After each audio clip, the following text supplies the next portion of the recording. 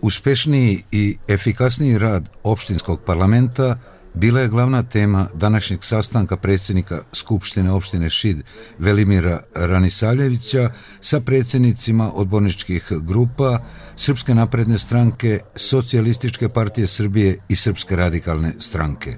Skupu nisu prisustovali predstavnici koalicije Vreme za pristojne ljude koji u Skupštine opštine Šid imaju šest odbornika. Ovaj sastanak sam sazvao i on će u buduće biti praksa e, pre svake skupštine. E, vodit ćemo znači, razgovore i dogovore oko utvrđenog i predloženog dnevnog reda, tako da ćemo u budućnosti, kažem, imati sve češće ovakve sastanke i bit će obavezni. E, današnji sastanak je protekao u dobrom dijalogu.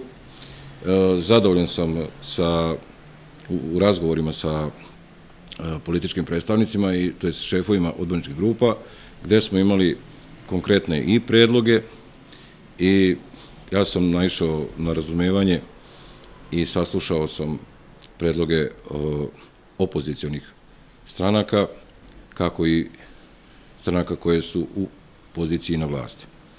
E, sve je završilo u najboljem redu, otišli su svi zadovoljni, Tako da naredne skupštine koje budu se dešavale će biti stvarno konstruktivne i bit će radne. E, također sam rekao da e, ako i kod njih ima dobar predlog ili plan ili neki program koji se tiče razvoja e, naše opštine ili samog rada i poboljšanje rada skupštine, neka ga blagovremeno iznesu, E, bit će razmatran kao takav i usvojen ako je dobar.